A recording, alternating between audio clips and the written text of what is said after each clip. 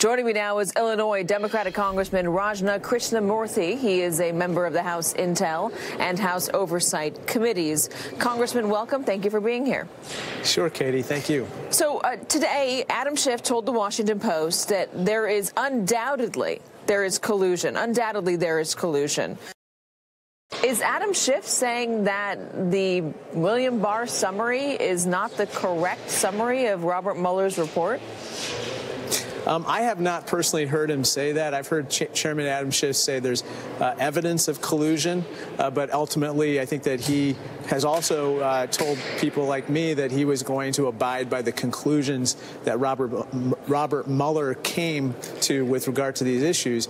But Katy, I think underlying all of this is the fact that we don't have a report or any materials to back up the findings. So we're kind of in the dark right now, despite the fact that the American people want the Mueller report. They don't want the Barr report. So when he says undoubtedly there is collusion, you believe what he means is there's evidence of collusion? Yes, that's that's how um, I've heard him say it uh, multiple times, and so um, I think that uh, with regard to evidence of collusion, um, obviously uh, it's well documented what that what those uh, uh, pieces of evidence are. What are they? Um, that being, well, just a couple examples. Um, there was the uh, meeting between Paul Manafort, uh, the chairman of the president's campaign, and a gentleman named Konstantin Kilimnik, uh, who is connected to the Russian spy services. And in that meeting, in a cigar bar in New York City, of all places, uh, Mr. Manafort actually passed private, private polling data to Mr. Kilimnik, and Mr. Kilimnik asked for relief for, from sanctions on Russia. Um, and this is something that uh, we know because Paul Manafort lied about it um, in the proceedings in, in D.C. This is just one piece of evidence. That being said, we need to see the report. We need to see what Mr. Mueller said about this particular uh, instance as well as others. Bill Barr's summary says that Robert Mueller found no evidence of conspiracy between Donald Trump's campaign and the Russians. No tacit or explicit conspiracy. Are you saying that Robert Mueller might be wrong or might have been or, or saying? Yeah, I think uh, what I'm saying is that there might be uh, evidence of collusion, although put it put But if there's no together, evidence of collusion to, to rise to the level of a crime, what do you suggest is the remedy?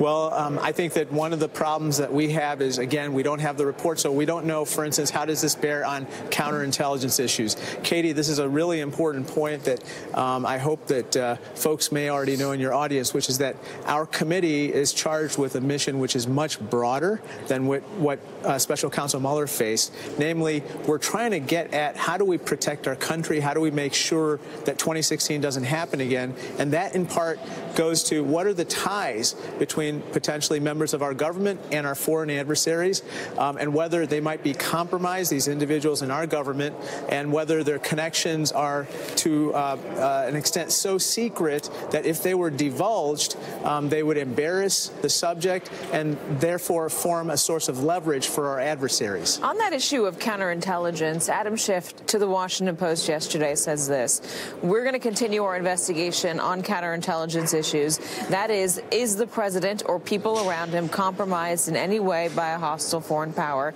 lining up with what you're saying. He adds, it doesn't appear there was any part of Mueller's report that they were discussing, we assume, uh, counterintelligence. Um, is that what you understand as well, that the Mueller report doesn't include any counterintelligence? I'm not sure about that, Katy. Again, I haven't seen the report.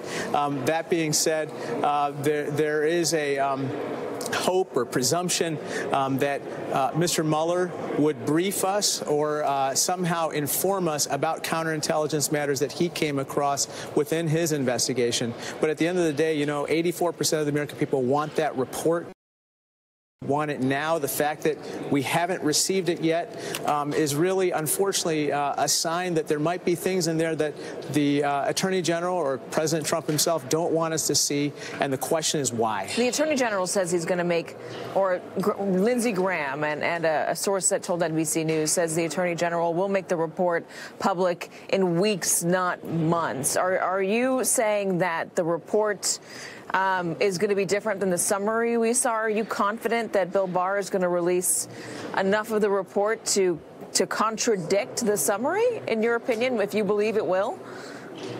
Um, I'm not confident about anything with regard to what Bill Barr is going to do with this report at this point, Katy. Um, one thing that I am concerned about is that uh, he himself uh, may redact sections um, and or share those sections with the White House and ask for their uh, edits. And that would be um, really problematic because the target of an investigation should not have uh, input into uh, redacting uh, the report about that target. So uh, we have a lot of concerns. Well, you don't know if the uh, president of the United States was a target of the investigation. Well, we know that uh, uh, he was a target to the extent that uh, the Barr summary had to clear him of criminal conspiracy. And so, therefore, um, the fact that he well, is mentioned in that way Robert is why Mueller he's a when subject. Robert Mueller said there was no conspiracy of the Trump campaign between the Trump campaign and Russia. Um, well, I think that uh, uh, certainly President Trump um, was a, a, part of the Trump campaign. He was the leader of the Trump campaign, and therefore I think that he would somehow be involved as a target in that investigation, or at least a subject of that investigation. So, are you saying you do you do not trust William Barr?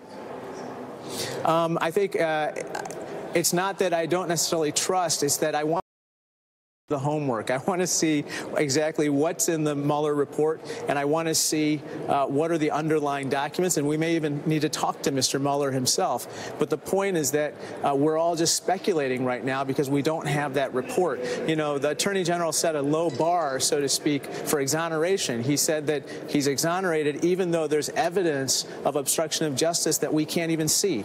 So that is uh, why so many people around here are willing to uh, respect the conclusions of Robert Mueller, but they want to see the homework. They want to see what's in the report and the underlying documents. Congressman Krishnamoorthi, thank you very much.